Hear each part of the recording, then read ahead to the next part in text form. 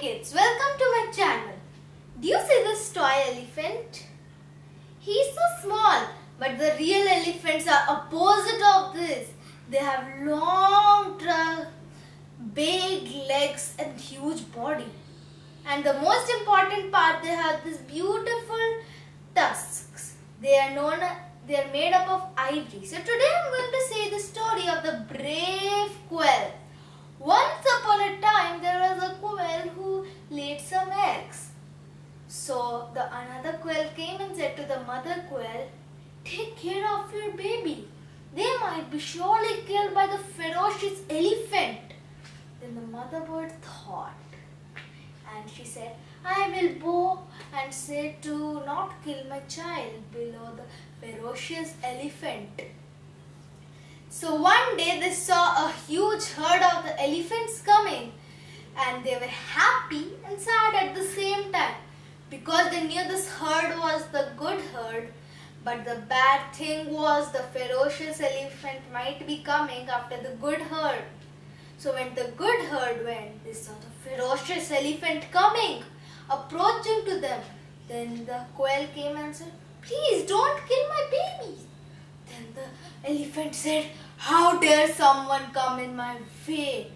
Then he came near the nest and he stamped on that nest. All the birds were dead, all the babies were dead. The mother bird was really sad to see her babies lying on the floor like this, and the elephant said, You wanted this? Take this. And he went really angry. Then the mother thought, I must take my revenge against this ferocious elephant who dares to kill my babies. Then the quail bird went to the crow and she asked her help. Will you please help me? The ferocious elephant has killed my babies. The crow said, I will help, but this bad nature must not go unpunished. So the crow said, What should I do? I will help you. Then the quail bird said, You have to just pick out the eyes and it should be empty sockets in the elephant's eyes. Then the quail bird went to the ants and the ant came out and said, Oh, I know you're sorry. I am going to help you. Then the quail bird said, You have to do nothing. Just the crow will take out the eyes, and in the empty sockets, you have to fill your eggs. Then the ant said, Okay, I am going to do.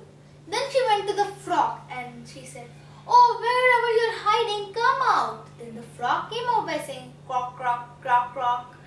So the quail said, Will you help me? Then the frog said, Obviously, you can count on me.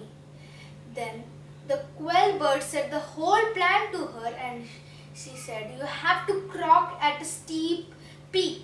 He might search for water and he might know you are the frog. You must live in the water. So he's coming near to you and he will fall down. Then they did according to the plan.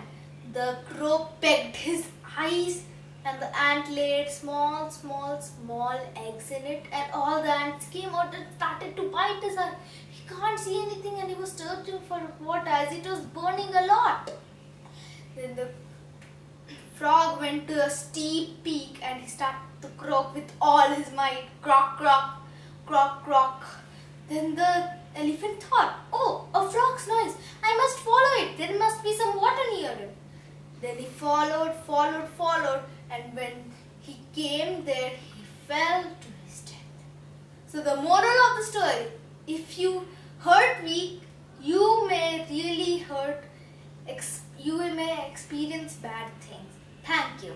Don't forget to ring the bell and for more videos subscribe. Thank you.